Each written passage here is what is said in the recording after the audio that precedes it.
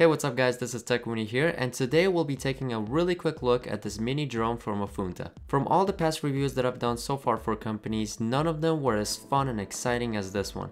This was totally a new experience for me, I've never flew a drone before in my life and it was challenging to learn all the controls and tricks from the manual. But a few hundred or thousand hits on the walls and the ceilings, I think I kind of know how to operate it now.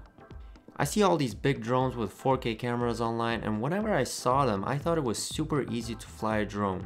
Just read the manual, watch a couple of videos and you're a professional. No, I was wrong. It is not easy to fly a drone and if you're thinking to buy a really expensive drone, you're making a mistake. I would recommend buying one of these and doing a really good practice and becoming a pro in this other than buying an expensive drone and crashing it in the first try. There's not a lot that comes with the drone and that is why the price is so great. You only get the things that you need. You get the drone with 4 blades already installed and 4 more spare blades. You get a charger but no adapter. I'm sure you can find a dozen of adapters at home.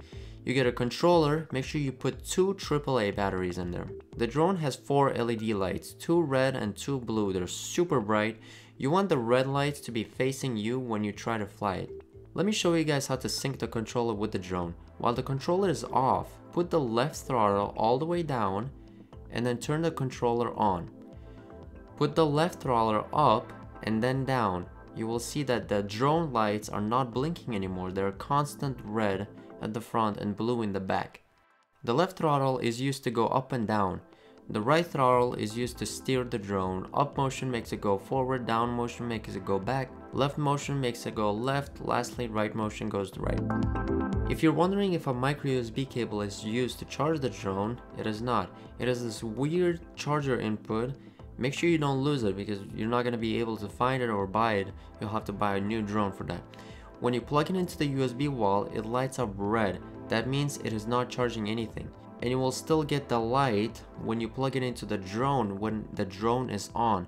Make sure you turn the drone off and then plug it into the charge. You will see now that the charger does not light up. It will eventually light up after 10 to 15 minutes after the drone is fully charged. I will now share all the pages of the manual. I know that some of you want to know the full directions.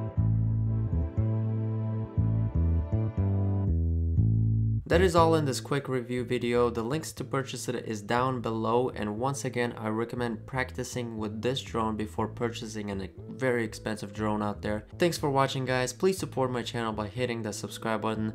Please like the video if you enjoyed. I put a lot of effort in these videos, so it is always a good feeling to see that people like my videos.